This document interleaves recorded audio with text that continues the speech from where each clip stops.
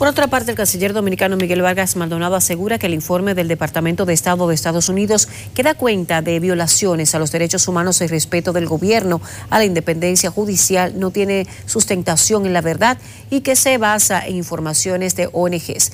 Para Rafael Lara está en directo y nos tiene más detalles al respecto. Adelante, Lara.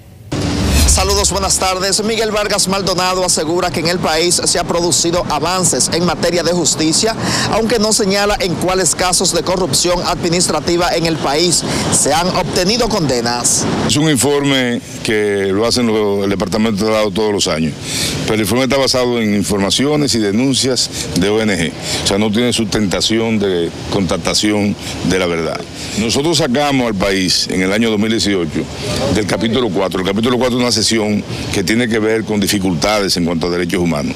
Y en el 2018, o sea, esto, esto quiere decir que estamos avanzando, que estamos fortaleciendo la democracia, que estamos consolidando el Estado de Derecho y que estamos también respetando eh, los derechos humanos. El canciller dominicano descarta que la publicación de este informe en medio del proceso electoral obedezca a una intención de hacerle daño a la aspiración de retener el poder por parte del Partido de la Liberación Dominicana.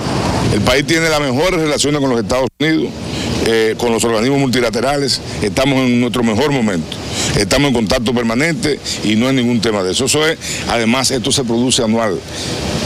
Yo he escuchado que no, que por la mentira, no hay ningún tipo de tema de elecciones. Las elecciones va a ser el 16 de febrero.